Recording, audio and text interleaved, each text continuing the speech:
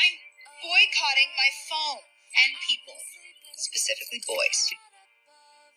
Jared, I'm getting my nails at the mall. Excuse me? Now teach my godson push-ups right before our wedding, Jared.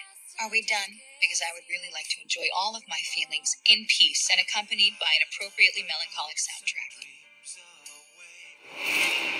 Jared, someone broke in and stole my left Ugg boot. Is that a time machine for undoing bad decisions? Jared, what are you doing? Not with my godson. Play it again, but sadder. He said that I was no longer the girl he knew and loved. I get what you're saying, but I, I just don't think I can. Um,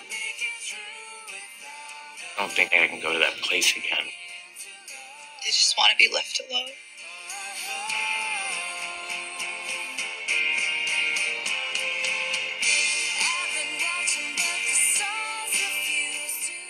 Kevin had a friend, and last night I got lucky. Revolting. Truly. Cloying to the Wow. point of retardation. That is a very interesting statement coming from you.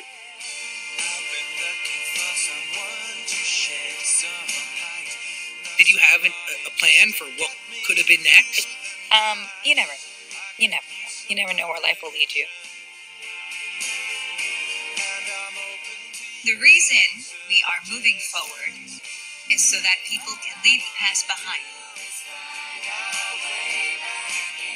We've spent a lot of time together, and we both have very specific personalities. Okay, no, no. Your input is no longer needed. Thank you so much. It was just really hectic. It was really hectic. So you just lied to my face. This Don't go face. to bed this angry. face that We're you could angry. still be Let's lying to resolve now. This is the part where I apologize for acting like a total lunatic.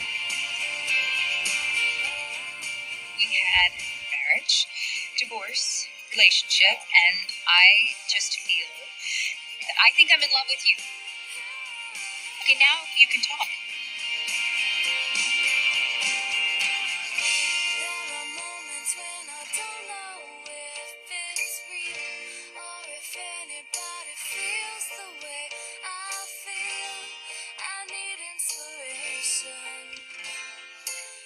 Just another negotiation.